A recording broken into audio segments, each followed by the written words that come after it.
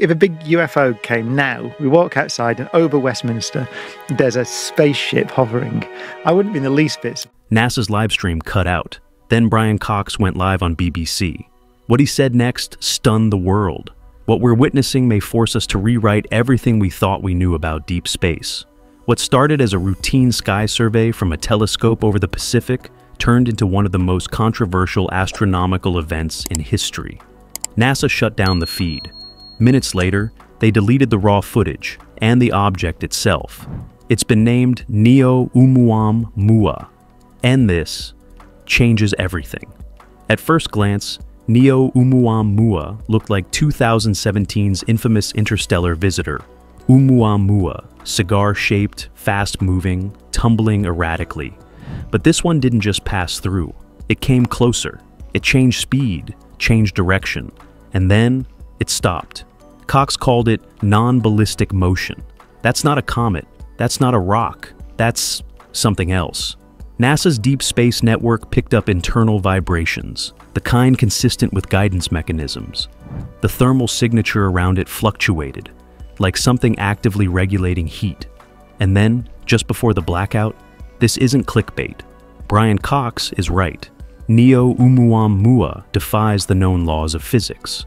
And just like its 2017 predecessor, it shows no signs of natural behavior. But unlike the original, this one didn't leave, it lingered. And maybe it was never a probe at all. Maybe it's something more chilling, a sensor, a tripwire. The Fermi paradox has always asked, if the universe is full of life, why haven't we heard from anyone? What if the silence is the answer? Cox speculated that Neo Oumuamua might be part of a vast surveillance system, left dormant until triggered by us. The object may have been passively waiting for a signal, or a threshold, or an awakening. And now we may have crossed that line. Independent observatories in Chile and South Africa confirmed what NASA didn't a directed burst of X band electromagnetic radiation, again in prime intervals.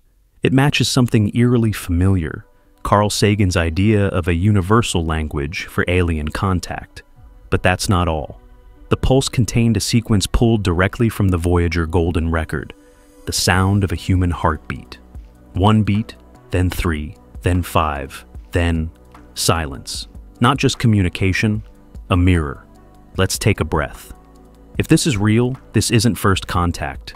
This is an evaluation.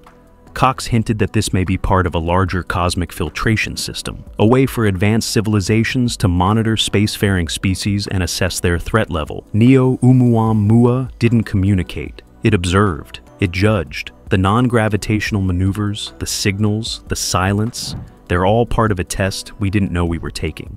April 7, 2025. CERN's magnetometer array picked up a global magnetic anomaly 0.72 seconds long, with harmonic frequencies unknown to any terrestrial source. Not solar, not tectonic, not human. But that wasn't the terrifying part. Exactly 43 light hours away, Voyager 1 responded. The signal came back time-stamped to match CERN's event to the millisecond. But Voyager's decades-old instruments shouldn't have been able to detect, let alone respond to, that pulse. Yet the probe replied, not with a bounce back, but with a custom signal, never programmed into its system.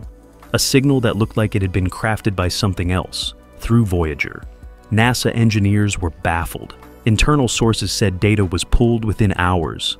Credentials were revoked. One researcher received a direct call from Langley, do not analyze, do not replicate. So, who used Voyager, and why now? Maybe Voyager wasn't the source. Maybe it was the interface, a relay point embedded in a larger system already watching us. Neo Oumuamua may have activated that system. Think about it.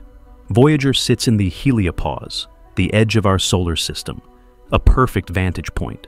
What if probes like Voyager were never just human achievements, but also listening posts and the encrypted signal?